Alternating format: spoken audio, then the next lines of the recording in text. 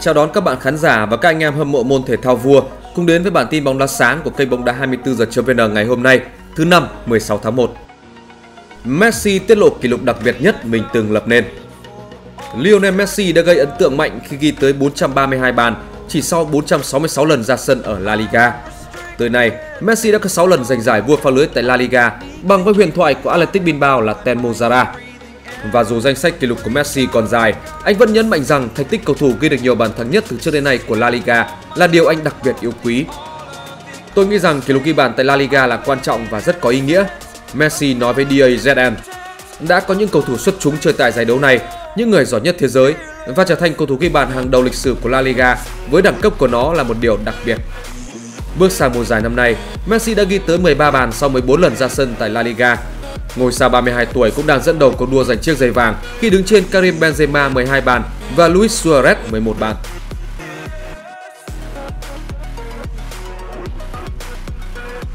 Aubameyang có thể được giảm án treo giò từ 3 xuống 1 trận. Còn nhớ ở trận hòa một đều giữa Arsenal và Crystal Palace cuối tuần trước, Aubameyang vừa đóng vai người hùng khi ghi bàn nhưng cũng vừa đóng vai tội đồ với chiếc thẻ đỏ trực tiếp sau pha vào bóng với Max Meyer. Ban đầu, Trọng tài chính chỉ rút thẻ vàng cho tiền đạo người Gabon này, nhưng sau khi tham khảo va, màu của tấm thẻ đã chuyển sang đỏ. Theo luật của Ngoại hạng Anh, cầu thủ nhận thẻ đỏ trực tiếp sẽ phải chịu án treo giò 3 trận.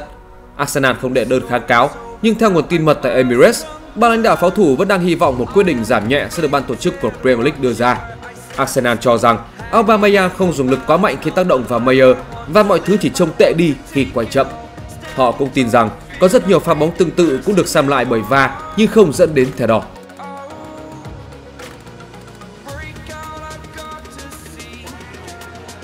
Không danh hiệu vô địch, MU vẫn vô đối về doanh thu tại Anh. Thu nhập của Manchester United là 627,1 triệu bảng trong mùa giải 2018-2019.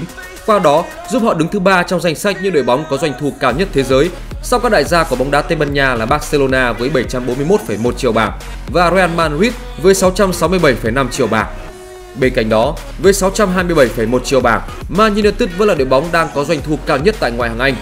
Tuy nhiên, sự thống trị của Quỷ Đỏ đang bị đe dọa đáng kể và có thể bị xoắn ngôi ngay mùa giải tới trước sự vươn lên mạnh mẽ của Man City đứng thứ 6 với 538,2 triệu bảng và Liverpool đứng thứ 7 với 533 triệu bảng.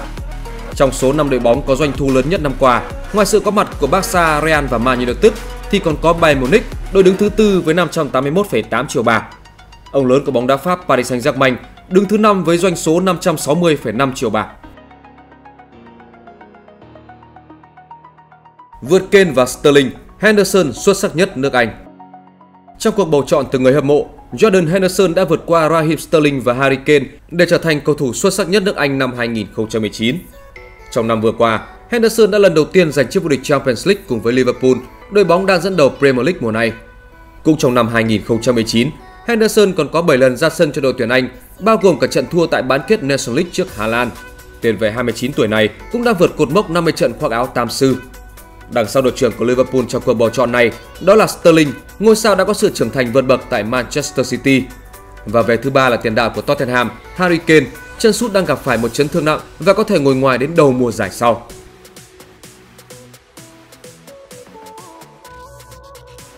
Bayern Munich đón tin vui bất ngờ trước khi bước vào lượt về.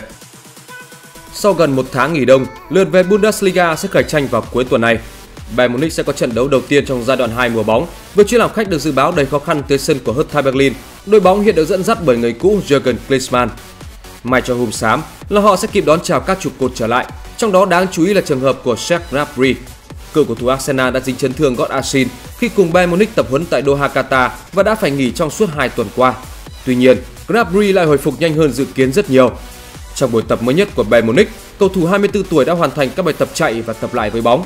Còn theo nguồn tin uy tín của tạp chí Kicker, tuyển thủ Đức sẽ trở lại tập luyện bình thường cùng các đồng đội vào thứ năm. Anh chắc chắn sẽ có mặt ở trận đấu với Hertha Berlin vào chủ nhật này, dù có thể là chỉ góp mặt trên băng ghế dự bị.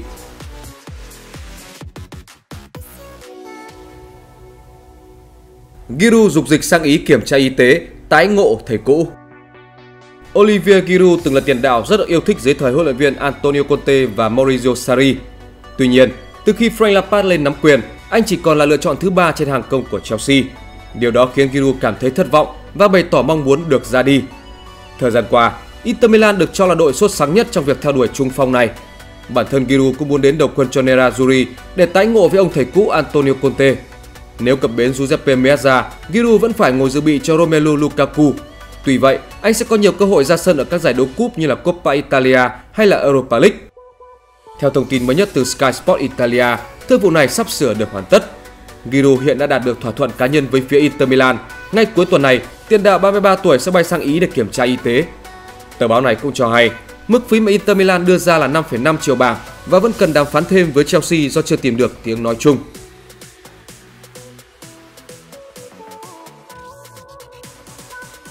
Solskjaer sẽ chỉ được 5 triệu bảng bồi thường nếu bị MU sa thải. Những kết quả ấn tượng khi làm huấn luyện viên tạm quyền vào tháng 12 năm 2018 giúp Ole Gunnar Solskjaer được MU trao cho một hợp đồng làm việc dài hạn.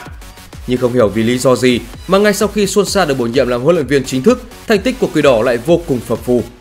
Bà lãnh đạo MU liên tục khẳng định có kế hoạch dài hơi với vị trí lược gia người Na Uy. Tuy nhiên, nếu Manchester United không thể có thành tích tốt vào cuối mùa này, mọi chuyện đều có thể thay đổi.